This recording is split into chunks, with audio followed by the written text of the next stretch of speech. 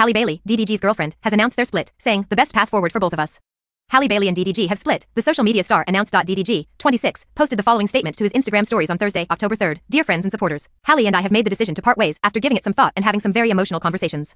Though it was a difficult choice, we think it's what's best for us both moving forward. I treasure the time we've had together and the affection we exchanged. Despite the changes in our relationship, our love for each other remains deep and true.